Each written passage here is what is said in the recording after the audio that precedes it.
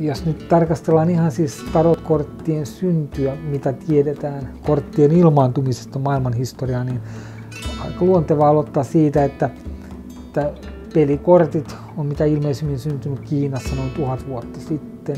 Todennäköisintä on se, että pelikortit on Eurooppaan tullut Egyptin kautta. Eli silloin 1300-luvulla mm, Espanjalla, espanjalaiset on ollut tekemisissä egyptiläisten kanssa ja siellä on vaikuttanut tämmöinen mamelukeiksi kutsuttu sotilaskasti tai ehkä heimoksikin voisi kutsua. Sitten joko mamelukkien kortit on saapunut Espanjaan tai Espanjasta joku on käynyt Egyptin puolella, mutta jotain kautta todennäköisesti aika suoraan ne on Espanjaan sitten kulkeutunut. Ja Espanjasta on sitten olemassa tämmöinen vanha, mitä pidetään tällä hetkellä eurooppalaisten vanhimpana pelikorttipakkana Furnierin museossa olemassa, mikä sitten muistuttaa jo enemmän meidän pelikortteja ainakin koon puolesta. Ne on jo paljon pienempiä, kun taas mamelukkien kortit on isompia, suurempia. Ja näissä eurooppalaisissa korteissa on myös neljä maa symbolia ja silloin kolme hovikorttia per maa. Eli siinä nähdä, on aika helppo nähdä aika suora vastaavuus näihin mamelukkien kortteihin. Toki se, että mamelukkien kortit ne oli egyptiläisiä, silloin arabialaista kalligrafiaa ja eurooppalaiset, espanjalainen pakka on sitten taas eurooppalainen. Varsinaisesti sitten, kun puhutaan tarot-korteista, niin maininta ihan siis tarok, tarokkikorteista on, on sitten Italiasta tuolta 1400-luvun puolen välin paikkeilta. Varsinkin kun väitetään, että, että ne on tullut Aasiasta ja että esimerkiksi Aasiasta tulleet mustalaiset olisivat tuoneet nämä. Mutta luojan kiitos tästä kirjoitusta byrokratiasta huolimatta, niin me tiedämme aivan hyvin, että jo silloin kun ensimmäiset mustalaiset jotka olivat aloittaneet sen pitkän matkan Indusvirran yli niin tulivat asettuivat asumaan Pohjois-Saksan rannikolle. Niin ne on rekisteröity milloin ne tuli. Tiedetään milloin ne tuli. Ja se oli silloin oli tarotkortit jo olemassa ja käytössä. Semmoisena pelinä joku munkki oli Italiasta ehkä jostain Torojoen rannalta tulleet. Ja ja meidän kronikoissamme eurooppalaisissa kronikoissa on ihan selvästi kerrottu että nämä on muutama sata vuotta tulleet ennen. Todennäköistä on, että joku keksi Pohjois-Italiassa vuosien 1420 ja 40 välillä liittää 22 kuvallista niin, niin sanottua valttikorttia mm, siihen hiljattain ilmestyneeseen pelikorttipakkaan, missä oli 52 korttia. On eri teorioita siitä, että onko alun perin näitä valttikortteja ollut 22 kappaletta vai enemmän vaiko vähemmän. Ja lisäksi jokaiseen maahan liitettiin kuningatar, eli sen jälkeen sitten siinä tarotpakassa, mikä oli syntynyt, oli 78 korttia yhteensä. Että, mm, mamelukkien korteissa ja vanhoissa pelikorteissa, on vaan ne kolme hovikorttia per maa, kuningas ja kaksi miespuolista alamaista, niin sitten kuningatar toi tavallaan tämmöistä ehkä tasa-arvonäkökulmaa siihen, ainakin tarotpakkaa. Firenzessä humanistit keräs vanhaa tietoja niin Kreikan mytologiasta kuin, kuin Egyptin mytologiasta. Ja ne laitettiin sitten korttejen muotoon, jota sitten näitä kortteja käytettiin sitten ihan viihdyttämiseen. Todennäköisesti suurin osa näistä valttikorttien kuvista tai ehkä jopa kaikki on ollut aivan arkipäivästä ja tuttua renesanssin aikaisille ihmisille, ainakin heille, jotka nyt oli saaneet jonkinlaista opetusta. 1400-luvulla käytettiin tarotkortteja ja niiden kuvastoa myös liittyen tämmöiseen niin sanottuun tämmöiseen muistitekniikan opettelemiseen. Sitä ajatusta tukee esimerkiksi tämä niin kutsuttu Mantenian tarokki. Siellä löytyy maallinen sarja, missä on kauppiasta ja artesaania ja paavia ja kuningasta ja kerjäläistä. Sitten siellä on Apollo ja yhdeksän muusaa ja äm, tieteet ja taiteet. Löytyy aritmetiikkaa ja astrologiaa ja teologiaa ja grammatiikkaa ja muuta. Ja sitten siellä on tämmöinen taivaallinen tai kosminen sfääri, mistä löytyy planeettakortit ja viimeiset kaksi korttia on sitten Primo Mobile ja Prima Causa, eli liikkeelle paneva voima ja sitten se alkuperäinen tekijä tai syy. Ja sitten toinen on tämmöinen 1400-luvulta lähtöisin oleva pakka, mitä tällä hetkellä kutsutaan Solabuskan pakaksi. Pakassa on sitten esitettynä Rooman historian sotasankareita. Eli sekin tukee ajatusta tämmöisestä tavallaan niin kuin muisti teknisestä välineestä tai ainakin opetusvälineestä. Ja sitten toki freskot ja muut kuvat, mitä on paljon tehty.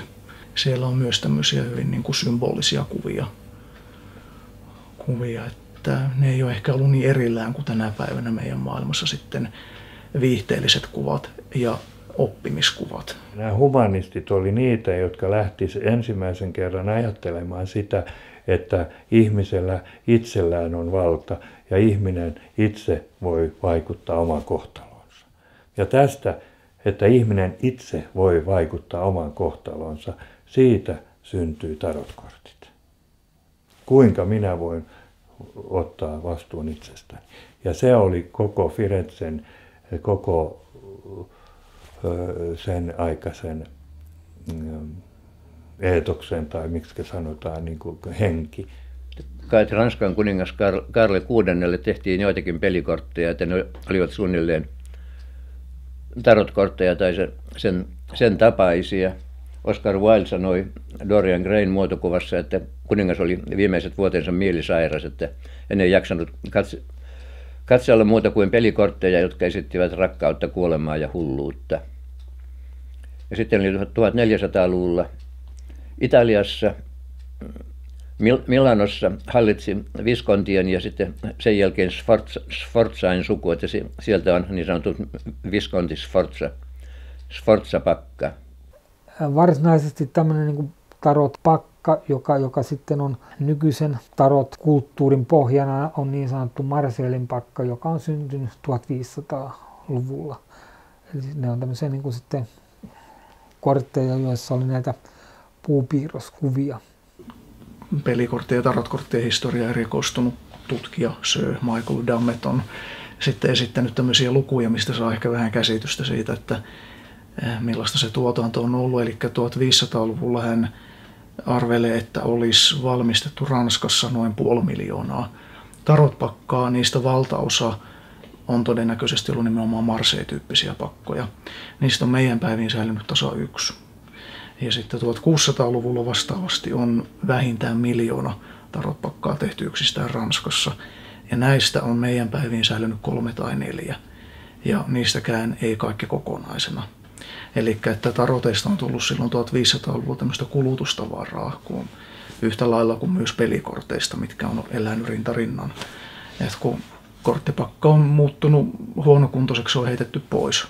Sitten myöhemmin siihen alkoi tulla sitten tämä ennustuksellisuus, eli korteilla alettiin ennustamaan. Väitän, että tarotkortit olisivat perä, peräisin muinaisesta Egyptistä, niin se on, sen esitti De kirjassa Le Monde Primitif, eli primitiivinen maailma. Itse asiassa egyptiläisissä haudoissahan on paljon kuvia, joissa kuvataan arkielämää, ihmisten erilaisia puuhia, ei niissä mitään pelikortteja näy. No se Belän usko, että tarotkortit on egyptiläisen Thoth-jumalan viisauden kirja. Ja tarotkortteihin oltaisiin sitten vaatimattomasti naamioitu koko ihmiskunnan viisaus ja niin kuin harmittomaksi korttipeliksi naamioituneena tämä viisaus on sitten säilynyt tallessa. Että sitten hän onnekkaasti sattui löytämään ja paljastamaan, paljastamaan tämän salaisuuden. Joillekuille ei edes Egypt, muinainen Egypti riitä, vaan sitten houraillaan, että ne ovat itse asiassa peräisin Atlantikselta. Tarotkorttien okkultinen vallankumous, minkä jälkeen tarot ennustusvälineenä sai hyvin paljon suosiota, tapahtui 1700-luvulla Ja siinä on kolme henkilöä, jotka vallan synnytti tai laittoi alkuun tämän tarotin okkultistisen esoteerisen vallankumouksen. Nämä henkilöt on Antoine Cour Gebelin, kuvernööri, Comte de Melle ja Etteilla. Etteilla oli, oli monella tapaa tarot pioneeri. Häntä on kiittäminen monesta tämmöisestä ensimmäisestä askeleesta, mitä sitten, tai perinteestä, minkä hän aloitti. Eli nimenomaan tämä ensimmäinen vartavasten ennustukselliseen käyttöön tarkoitettu tarotpakka, samoin kuin myös ensimmäinen tarot-ennustusopaskirja, minkä Etteellä kirjoitti. No, juhlava nimi Manier de Cercrer avec le jeu de carte nommé tarot, eli tapa tai keino viihdyttää itseään tarot-nimisten korttien avulla. Ja sitten tämä Etteillan oma tarotpakka, mikä silloin 1789 ilmestyi, on hyvin mielenkiintoinen ja erilainen kuin suurin osa muista tarotpakoista. Eli puhutaan ihan omasta Etteillan tarot perinteestä tai tarotpakkojen haarasta. Kaikki kortit on ensinnäkin numeroitu, se oli uudistus, ja jokainen kortti sai avainsanan tai päämerkityksen sekä oikeinpäin että väärinpäin ollessaan. Eli siinä on yksi perinne, minkä Etteellä myös aloitti, tämä korttien käänteiset merkitykset, mikä on tänäkin päivänä hyvin suosittua. No sitten 1800-luvulla Elifas Levi-niminen ranskalainen ok- okkultisti otti näitä, otti näitä ajatuksia ja yhdisti Kabbalan ja Tarotin Elifas Levi on ollut ensimmäisiä, jotka on esimerkiksi liittänyt Kabbalan elämänpuun 22 polkua tarotkortteihin ja myös liittänyt sitten tätä hebrean kielen aakkosia tarotkortteihin. Että hänen vaikutuksensa on ollut hyvin merkittävä ää, sitten muihinkin okkultisteihin. Esimerkiksi Aleister Crowley on saanut vaikutteilta häneltä ja, ja, ja, ja myös tuota, monet, monet muut. Hänen ajatuksensa siirtyivät sitten taas muun muassa Englannissa Golden Dawn Loosin jäsenille. Ja he harrastivat tarotkortteja ja heillä oli pitkiä ja monimutkaisia, monimutkaisia rituaaleja. Mutta se järjestön merkitys on ollut hyvin mittava oikeastaan kaikkeen niin kuin, ää, modernin okkultismin ja esoteriaan ja erityisesti niin kuin rituaalimagiaan. Sen järjestön piirissä luotiin tämmöinen hyvin systemaattinen – yksityiskohtainen kokonaisuus, synteesi tästä länsimaisesta esoteerisesta perinteestä, siitä hyvinkin tämmöistä niin kuin laajasta sirpaleisesta kentästä, joka oli jo aika lailla niin kuin vaipumassa unohduksiin. Ja voi sanoa tavallaan niin kuin, äh, Golden Dawn järjestö tavallaan onnistui tietyllä tapaa niin kuin pelastamaan tämän, tämän niin kuin laajan ja mittavan niin kuin kokonaisuuden. Totta kai Tarotella oli myös, myös tämmöinen ennustamisen funktio Golden Dawnissa, mutta, mutta se, ei, se ei rajoittunut pelkästään siihen. Kaiken kaikkiaan katsottiin, että niin kuin tarotkortit on, on yksi osa sitä kokonaisuutta, jotka niin kuin sisältää tai tavallaan kantaa mukanaan tätä, tätä myös niin kuin esoteerisen perinteen ainesosia tarotit nähtiin tämmöisenä niin kuin välineenä kehittää myös tätä itsetuntemusta ja, ja, ja myös sitten kulkea tätä niin kuin, voisi sanoa niin kuin hengellistä päämäärää kohti. 1900-luvun kaksi merkittävintä tärkeintä tarotpakkaa. 1909 ilmestyi ensimmäinen, mitä nykyisin kutsutaan pitkältikin sen kauppanimellä Rider Tarot, koska Rider Company oli se yhtiö, minkä kautta tämä pakka ilmestyi, mutta ehkä oikeammin voisi puhua sitä tai kutsua tätä pakkaa näiden tekijöiden nimellä Wade Smith Tarot, eli Arthur Edward Wade ja Pamela Coleman Smith. Arthur Edward Wade oli englantilainen kirjailija, kääntäjä, kriitikko ja mystikko ennen kaikkea. Wade ei ollut maagikko, mutta että enemmän kristilliset mysteerit ja samoin Graal, legendat Graal-mysteerit, eli Joosef Arimatialainen kuningas Arturin tarinat, nämä oli kaikki hyvin lähellä Waiten sydäntä. Pamela Coleman Smith maalasi kuvan kaikkiin kortteihin, ei pelkästään valttikortteihin ja hovikortteihin, mitä oli tietenkin jo aikaisemminkin ollut. Marseipakassa esimerkiksi numerokorteissa sauvojen nelonen, siinä on vain neljä sauvaa limittäin. Niitä on vaikea tulkita, täytyy ulkoa muistaa, mitä se kortti tarkoittaa. Tai valtaosa nykyisistä tarotpakoista on tämmöisiä, missä nimenomaan kaikki kortit on kuvitettu. Niitä on paljon mielekkäämpää katsella ja tulkita kuin se, että on hyvin abstrakteja kuvia, missä ei tapahdu mitään, mitkä on staattisia. Rider-pakon ohella toinen 1900-luvun tärkeimmistä merkittävistä tarotpakoista on Alistair Crowley ja Lady Frida Harrisin tekemä Thoth-pakka tai Thoth-tarot. 1875-1947 elänyt, hyvin tunnettu okkultisti, keskeinen vaikuttaja modernin okkultismin ja rituaalimagian kentällä. Oman aikansa superjulkis ja, ja tämmöinen niin skandaalin kärjyinen henkilö, joka myös epäilemättä nautti tästä niin kuin, tämmöisestä äh, pahasta maineestaan.